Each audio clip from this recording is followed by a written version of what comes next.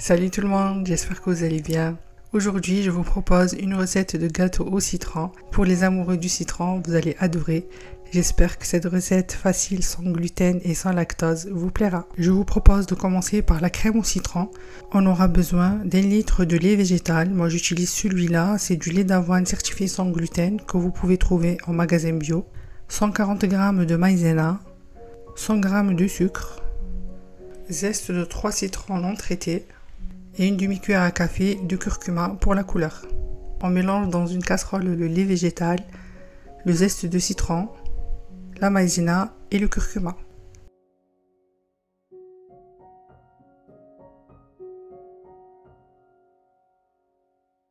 On mélange bien et ensuite on met à cuire sur feu moyen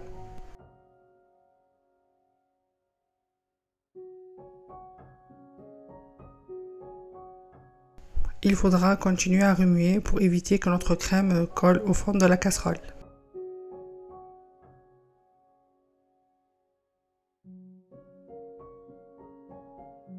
Dès qu'on voit que ça commence à épaissir, on laisse cuire environ une minute. Et ensuite, on éteint le feu et c'est prêt.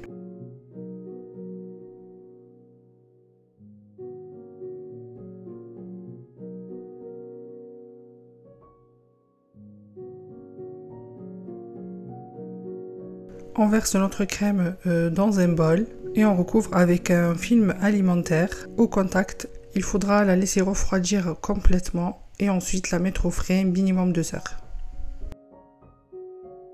Pour le gâteau, on aura besoin de 6 œufs, 110 g de maïzena, 80 g de sucre, 7 centilitres d'huile et un sachet de levure chimique sans gluten.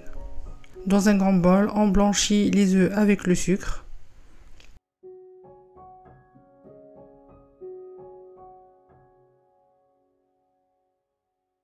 Dès qu'on voit que ça a doublé de volume, on ajoute l'huile et on mélange avec le fouet euh, délicatement.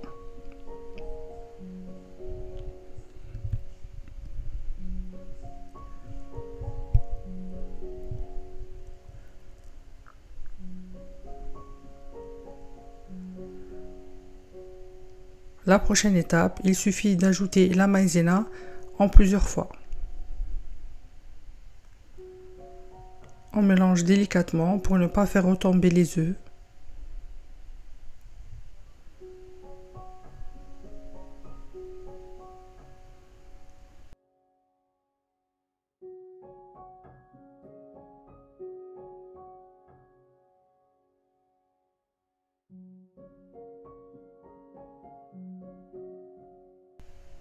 Et à la dernière partie euh, de la maïzena, on ajoute le sachet de levure chimique sans gluten.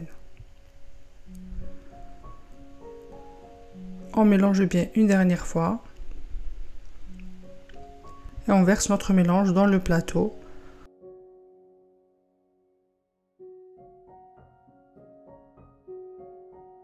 Et avec euh, la spatule, on va bien étaler le mélange.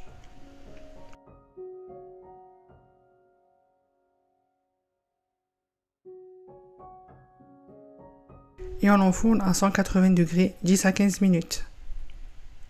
Dès que notre crème a complètement refroidi, on va la détendre avec le fouet et on va la mettre dans la poche à douille. Je vous mettrai euh, la référence de la douille en barre d'infos. Dès que notre gâteau a complètement refroidi, avec le couteau, on va couper les extrémités et on le partage en deux.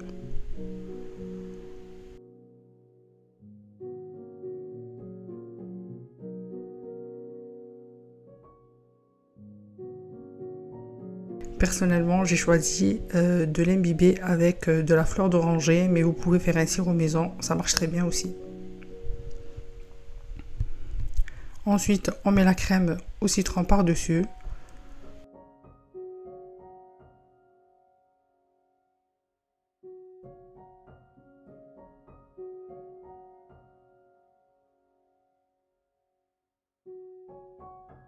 On recouvre avec l'autre partie du gâteau et on l'imbibe bien avec l'eau de fleur d'oranger.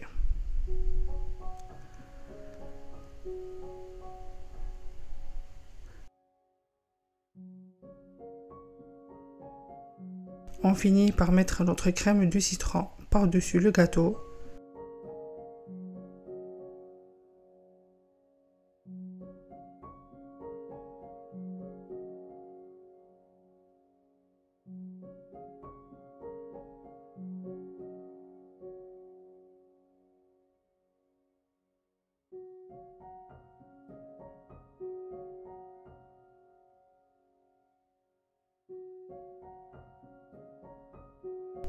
J'ai ajouté quelques fleurs comestibles et quelques tranches de citron par-dessus.